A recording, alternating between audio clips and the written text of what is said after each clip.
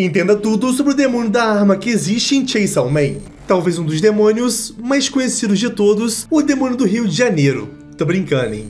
O demônio da arma foi criado a partir do medo muito grande da humanidade em relação a armas. Isso porque a humanidade tentou usar armas de fogo para derrotar os demônios há cerca de 13 anos atrás em relação à história original da obra. O grande problema é que para variar os humanos fizeram merda e aquilo que deveria ser usado para proteger começou a ser usado para atacar a própria humanidade. E com isso, muitos roubos, mortes e ataques começaram a acontecer. Tudo isso era transmitido pela mídia para o mundo inteiro incontáveis vezes, gerando com isso um pânico simplesmente colossal nas pessoas por armas. Todo esse medo acumulado gerou o fortíssimo demônio da arma ou demônio pistola. Ao surgir, de imediato esse demônio deu a volta ao mundo, atacando e destruindo simplesmente tudo à sua frente, matando cerca de 1 milhão e 200 mil pessoas.